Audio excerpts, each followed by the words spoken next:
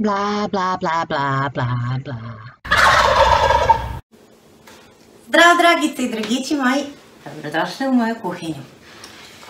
Danas pravimo krmunadle, malko ladne kremunadle i par sarmi s makom. Svinjske krmunadle. Šta se dešava? Dešava se često da ljudi kad ispeku, ili žene, kad se ispeku krmunadle, da one budu tvrde, da budu ko parče drveta, što bi rekli kod nas ko džon. E sad, ja ću vam otkriti jednu malu tajmunu kako da vam krmenadle budu mekane i onako fino, da imaju lipu teksturu, da ne budu, znači da ne možeš ih jesti, ako, naročito ovi što imaju socijalne zube ili, ili neke krunice ili nešto, pa da im potpadaju zube. Prvo i najvažnije je ono, a, najvažnije je da imate dobro meso, ali aj dobro, to je sad diskutabilno, da nećemo o tom, tome smo pričali već sto puta.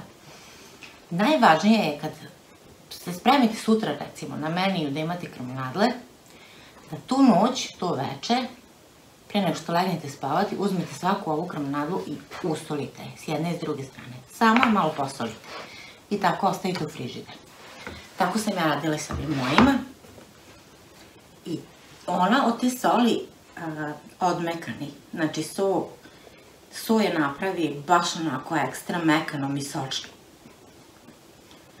soja napravi baš onako ekstra mekanom i sočnom. Sad ćemo pređemo na pečenje. Ja ću da pečem, možete peći u čemu hoćete tiganju ovom. Ja ću ovoj moje veliko širpi, što mi služi kao tigan, zato što je dublja. I vodite računa da imate ovaj dovoljno prostora, ako nemate veliku širpu ili tiganj, onda možete u dva put, tri put, koliko zavisi, koliko vam krmnadli ovaj, treba. Mada na zapadu ide jedno, jedno parče mesa po osobi, nema repete. Dobro, mi nismo na zapadu. Idemo da pečemo. Stavimo masnoću koju koristimo, ulje, mast ili šta već i ugremo i stavljamo meso na vruće ulje. To na vruću masnoću. Ja koristim mast, su mi na masti nekako najbolje, mada znaju i na puteru da budu dobre. Jedino na puteru znaju i da pocrne. E sad, da li će mi stati? Baš sam se trudila da uzmem ovo veliko. I sad možemo pojačati slobodno vatru da bude onako na najjače. Da nam ove krimonadice dobiju onako lipu brown koricu. Sad kad su porumenile sa one strane, samo ih prome, prevrnemo, jel da? Ju, ju, ju, lijepe rumene. Ja volim kad je onako baš dobro pečeno. I isto to ostavimo sa druge. Ne bojte se, neće biti tvrde. Među vremenu, dok nam se krčkaju nadle, ja ću da, da očistim malo luka, glavicu, dve, tri, ko koliko voli. Znači, to je, to je na vama. Ovdje imam papriku koju i nju ću da iseckam i šampinjone koje nisam spremila na sto, ali ovaj, pa recimo ja imam ove sad neke, koliko tu? 200 grama, tako? Ne koliko je, 400 grama, tako da ću pola od, toga uzeti. Šampinjona i iseći, iseckati, iseckajte onako kako volite, ne mora biti sitno, to da obradujemo nešto što ne volu da seku krupno. Ni luk, ni paprika, ni ništa ne mora da bude sitno. Može, ali ne mora. Iseckano povrće i kebana. Još da ima crvene paprike i zelene, baš bi bila prava i kebana. Znači, otprilike tu ima, pa ispalo tako da ima jednako svega, i luka, i paprike, i ovog kažem koliko volite i koliko imate možete staviti. Kad nam se meso zarumenilo s jedne i sa druge strane, od gore ovako stavimo prvo red luka, da svuda pokrije, onda paprike, šampinjona,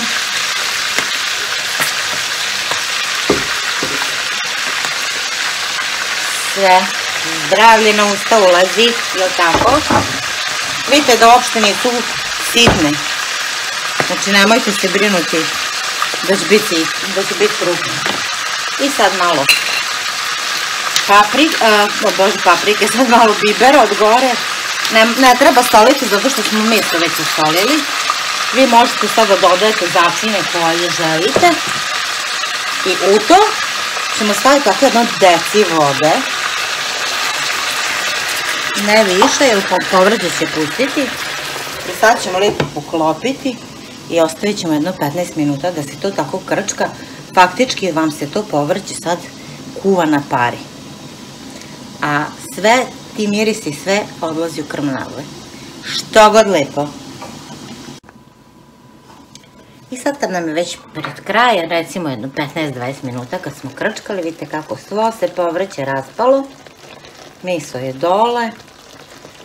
Sad ćemo ovo meso ovako podignuti iznad, da nam povrće spadne. Dole, tako. Već počelo meso da se raspadne, ne mogu ni da ga okrenem.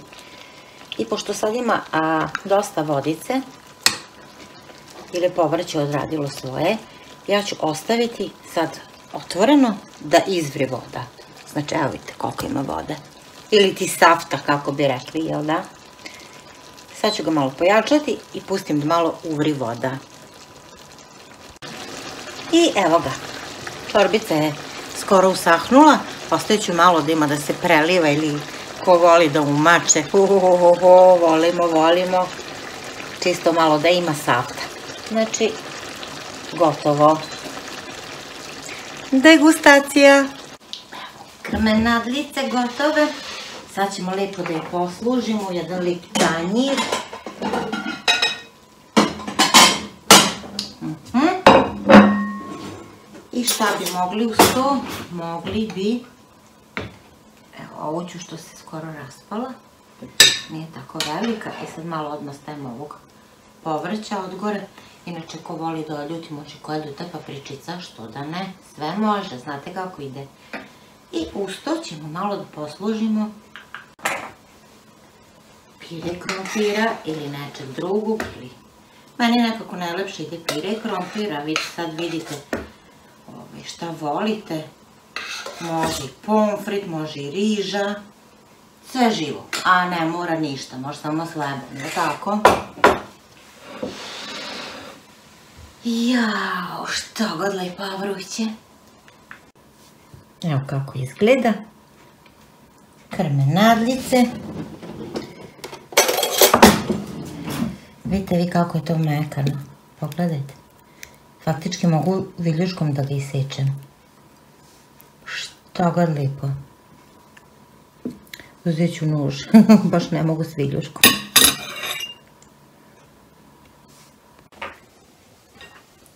Sad za ovo.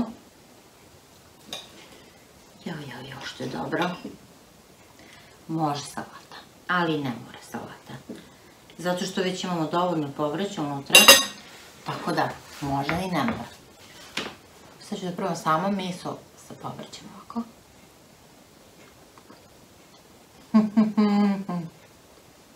Ništa to ne valja.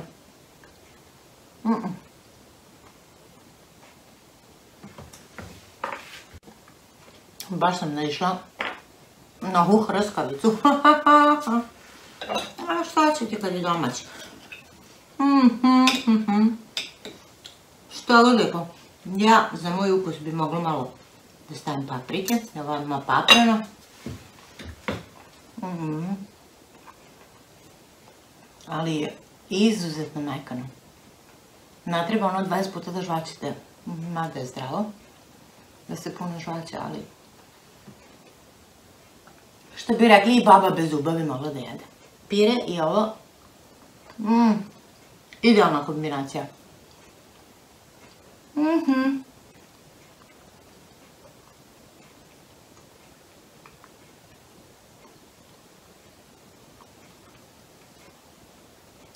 Naravno da možete da dodate začine, možete staviti belog luka, možete ovog, onog, artičoka, šta ja znam šta ko voli, ali ovo je osnovni recept, ja vam kažem kako ja pravim.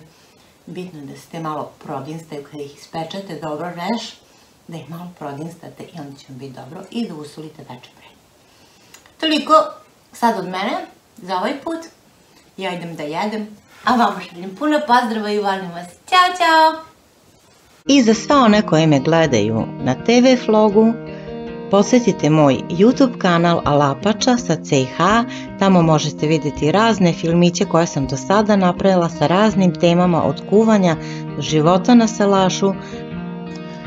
Na YouTube možete da me zapratite ako vam se neki video svideo, da ga lajkujete ili da ga podelite recimo na Facebooku ili nekim drugim socijalnim medijima sa drugim ljudima.